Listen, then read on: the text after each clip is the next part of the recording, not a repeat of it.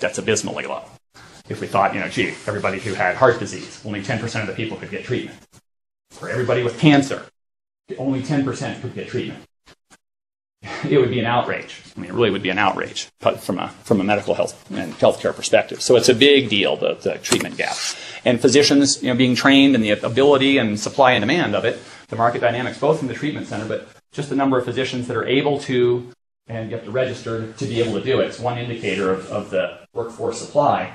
Who can prescribe buprenorphine or methadone? You have to be certified to be able to do it and get a, a license to, to do this, be able to withdraw people from it. And in Colorado, we're among the lower in terms of, of penetration of that sort of physician registration per capita. We don't have availability, no matter how you measure it, to try to get people off of, of prescription drugs. Even if we want to do it, our capacity is very low. So it's, it's difficult. Uh, it's, it's, so you see this, the tide is very strong, but we have to try to, to do something about it. So a little bit of understanding I thought is worthwhile about how we got here. Well, how did we get in this mess? It's a, it's a big mess. We know that I'm not going to do a presentation on risk factors for prescription drug abuse. There are many about addiction that you could spend a whole course talking about addiction, a whole curriculum, and we probably should, talking about addiction and how people get into this problem and how can we prevent it and all of that, but that's another topic for another day. I just want to acknowledge that it's a very complex biological, environmental, and psychological process to deal with addiction. It's not just simply someone took the drug and they overdosed. There's a lot going on between here and there. The availability has been cited as a big issue. That just generally the availability of prescription drugs, including opioids, but not just opioids. But for example, in the drug distribution through the pharmaceutical supply chain, legitimate channels of distribution only, not counting illicit drugs or black market for prescription drugs, which there's a strong black market for. In 1997, were, each person in the U.S uh, there was enough distributed through the supply chain that each person in the U.S. could consume 96 milligrams of morphine equivalents per year.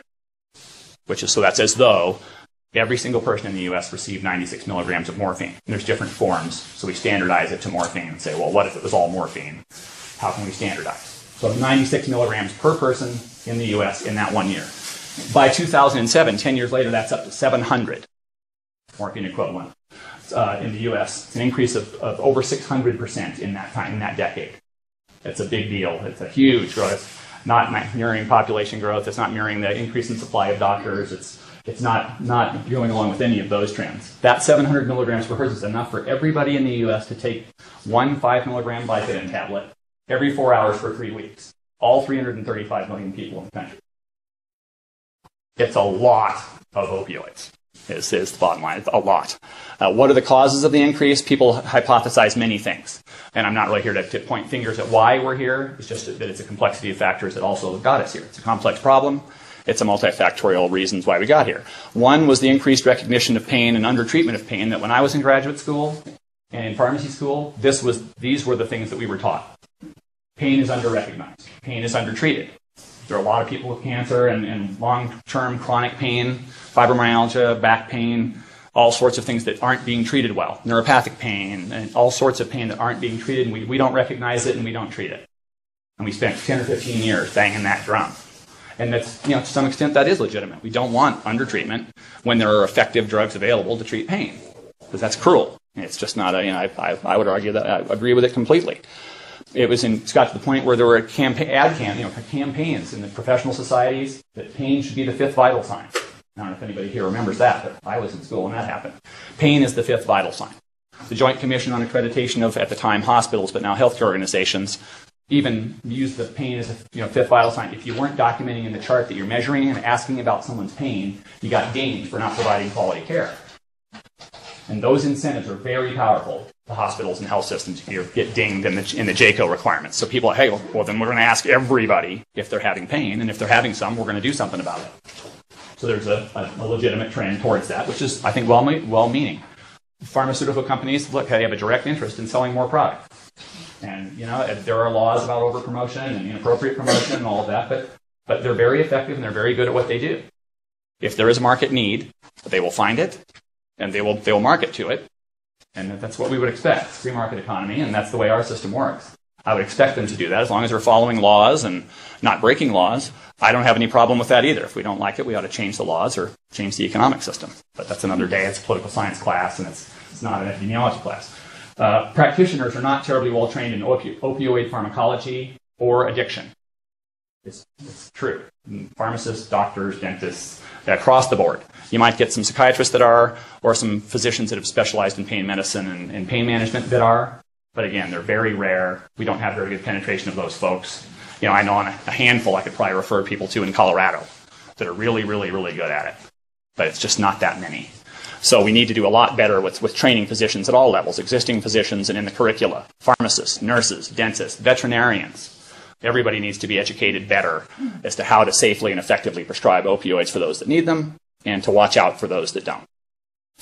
Uh, drugs are very, these are far more powerful than people think. There's misconceptions and other, you know, many of them that, you know, especially youngsters and, and young adults report this, but, but people across the age span believe that prescription drugs are safer than street drugs. They're less dangerous. They won't kill me.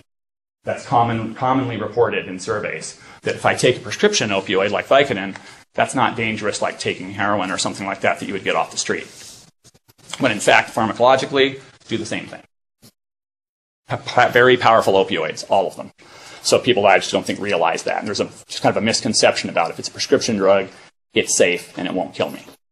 Uh, and then last but not least, uh, among many, and there's, there's other factors, but this is just a few, um, scamming, doctor and pharmacy shopping, the black market for opioids, there's a, there's a market for this. Go around, whether it's to feed someone's own addiction or for economic gain, to scam you know, doctors and, and pharmacies and go around and try to get as much opioid as you can because the street value is about a, a dollar a milligram. So if I, you know, so an 80 milligram uh, oxycodone or hydrocodone would fetch 80 bucks per tablet for an 80 milligram tablet. And if you want to get 40 of them, then you do the math, three grand. Or if you want a, a prescription of 40, it would be three grand out in the street to get it. Very, very expensive. And so some of that now is as we reduce that supply, heroin is cheaper. Black tar heroin is cheaper than going for getting hydrocodone and oxycodone. So we do have a problem with that. Yes? Just a actual question. Um, when did the first of these new kinds of opioids uh, generic, or they still Almost all the opioids, well, hydrocodone and oxycodone have been generic for years. There are brand name versions of these drugs, and then there are new formulations of the drugs that are tamper resistant, and those sorts of things that are encouraged, and they're both good and bad. The tamper resistant forms are harder to crush or snort. They become, they look like they, turn into paste. You really can't snort them, you can't inject them. And so it's just, well, all you can do then is just take it in your mouth like you were taking the tablet. So it's to discourage the abuse. But those are both very, really good because they discourage the, the rapid onset, the abuse, and they're you know long acting, so they, they, they don't produce quite as much euphoria. They produce pain control without the euphoria, so that's great. But then they're very expensive, extremely expensive. Whereas a you know generic Vicodin, you know, hydrocodone or an oxycodone tablet will cost you three or four cents. These will be you know two dollars a tablet. So we have a problem. And when we have cost issues, you know, we all know how much you know, we're all flush with, with tax money to pay for, for things, and everybody wants their insurance to go up, and everybody wants their copays for prescription drugs to go up to pay for the new products. We all want that.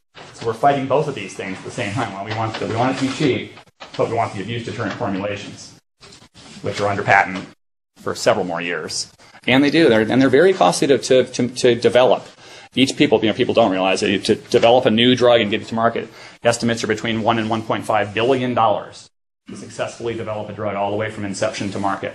So there's a lot of cost to recoup before you can start making money and all that. So I don't, you know, if it were so easy, the industry does make a lot of money, but if it was so easy, everybody would do it.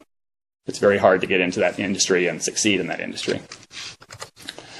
So we do see that states with higher opioid sales and youth use rates also have higher death rates. Not, not surprising. The more of the stuff going in to the system, the more availability, the higher the, the death rate. So you can see that the, the uh, supply is in little, the little uh, yellow circles, and the larger circle, larger supply per person, and then the darker rates in the square, the uh, square is darker blue is more, more death. Uh, so you can kind of see it generally does correlate. More, more supply going in, more opportunity for this to be available, and, and we see that's just what you kind of expect. Uh, rates of opioid deaths, sales, and treatment admissions all seem to go in, in, in concert, which we would expect. Okay? This is another reinforcing point. It is true, though, that the majority of uh, opioids are consumed by a small percentage of patients. So it's not like when I said everybody could be taking this much for three weeks. That's not how it works. It really is. It's a smaller percentage of people get an awful lot of morphine equivalents per day. There are, you know, those getting over 100 milligrams of morphine equivalents per day That's a percent of the total opioid, opiates consumed. About 63% of them are by people who are on these high dose. And that's probably you know, terminal, you know, you know, cancer patients with pain, long-term pain that if you develop tolerance and a threshold to it, they're being legitimately treated and, and followed and all that. So there's very legitimate reasons why you might, but it's again a small percentage of those that are taking the very high doses in, in that, that respect. It's also a small number of providers that tend to, to prescribe the larger quantities of these. It's not every prescriber prescribing them all over the board. About um, 8% of the providers prescribe 79% of the drugs, and depending on where you go. This is the Oregon Prescription Drug Monitoring Program data, but various sources show similar kind of, you know, 80-20 and 90-10 rule types of things that you see. So it's a small number of providers that prescribe the large quantity of, of uh, opioids. That, and again, same thing, top 20% of prescribers accounting for those patients, accounting for the majority of deaths, for, as, you, as you would well imagine. Again, this is from uh, Ontario data, but all over. No matter what, though, we, the, the, what we do see, the more patients you have on opioids, the more you're prescribing, the more you're likely to see doctor shopping. And doctor shopping is where you look into the PDMP data and you see the, the frequency with which somebody sees, here's how many patients that I'm prescribing for. I'm prescribing for 10 or 100 or 1,000. If I prescribe for a 1,000, it's much more likely that a few of those are going to be doctor shopping and scamming me and may not have legitimate pain and are going to see several other doctors, going to several pharmacies. And, and we know this as well. So this suggests, you know, systems you know, related issues that we doctors just aren't aware. Patients are very good at it, and it's, it's sometimes very tell, hard to tell with subjective symptom like pain that someone, oh, they're absolutely certain they don't have pain. It's a, it's a difficult thing when we don't have a marker. Can't do a blood test and tell you how much pain you have. So it's, it's difficult. Uh, interestingly, there's not just the, the supply, though. It's, it's you know, so that suggests some of this is through the legitimate channels. There's also that non-medical use in the past month that I talked about a little while ago. Uh, the number that people have heard about, probably know, we're number two in the U.S., is the number lately that we hear about uh, in, in, the press and in, in circles, that the non-medical use of prescription pain relievers by persons 12 or older in 2010 is about 6% here in Colorado. The national rate is 4.6. This is where we rank number two. And this got the ire of the, the governor, got his dander up saying, wait a minute, we, we, we want to be number one, but not in this. This isn't where we want to be number one. So we need to do something about it. And this led to a lot of the, the issue. We hear about this. Only Oregon was worse at about 6.4%. Report, this is reported non-medical use in the past month of prescription pain relievers. This is specifically of opioids, not just I, you know, I took my, no one's going to take it. I took my friend's blood pressure medication. Not, like, not much, not much reason to take that. Where do people get them? You know, people think, well, you know, it's the black market. I go to the doctor. Most of the time, people get them from friends and family.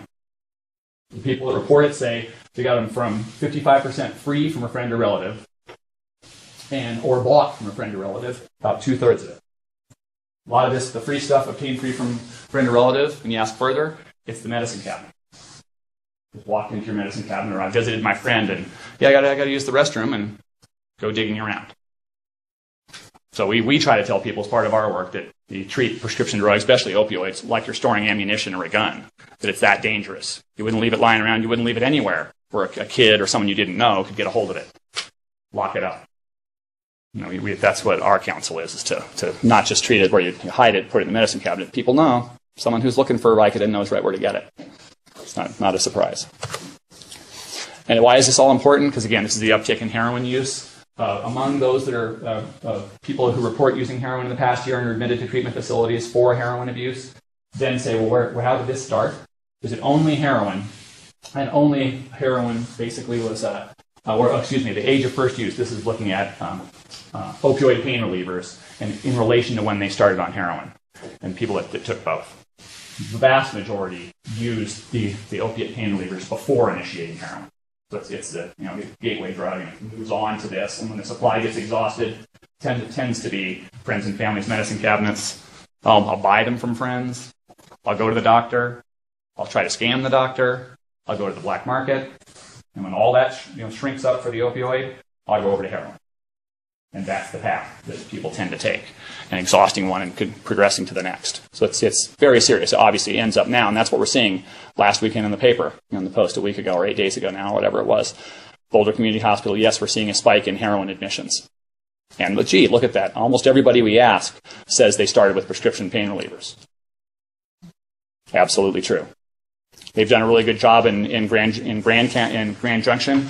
I think I said Mesa County over there, but in Grand Junction with their high intensity drug trafficking efforts to cut down, and they they busted a couple of, of pill mills and places where people could easily go in and get a prescription for opioids, and cl- basically closed that loop and made it much more difficult to get it illegitimately. And at Mesa State College, they've seen several heroin overdoses in the last year, more than they've ever seen. So it is happening, and it's an issue. We have to figure out what to do about this overall, but uh, it's important. So what is being done? There's a lot of targets, a lot of places where you could try to intervene. You know, and this is just examples. The, and this is something that the uh, CDC put together, so I have to give um, uh, Chris Jones credit. So I didn't put this little graphic together because I'm graphically challenged. You can see my white and black, and that's all I can do. Cut and paste and white and black. But they put together this fancy graphic that basically shows, you know, almost anywhere in the supply chain and the legitimate healthcare chain are places where we could try to intervene. And you can look at, try to, to decrease pill mills or look at problematic prescribing, look at general prescribing to try to improve it. Uh, hospitals and emergency departments. And there's a lot of guidelines now being developed in EDs for, hey, how do we, how do we handle people that could be drug seeking? How do we try to ferret them out? How do we handle them? What do we do about this? How do we use the PDMP? What are our guidelines for opiate prescribing? New York says you can only prescribe a certain amount. They've enacted a law by law and so you can only prescribe so much in the emergency department setting. Sorry, we can give you three days by law. So the doctors have an out there basically to say, look, I, I, I can't give you any more. I can give you six tablets. And so there's different ways of doing this there, or through pharmacies, through insurers. Looking at, obviously, we want to target people at highest risk for overdose first. That's where we want to go. But there's general, you know, we don't want to ignore the rest of the population, say we don't want to have any prevention efforts for people in general. We want to have a broad based prevention strategy.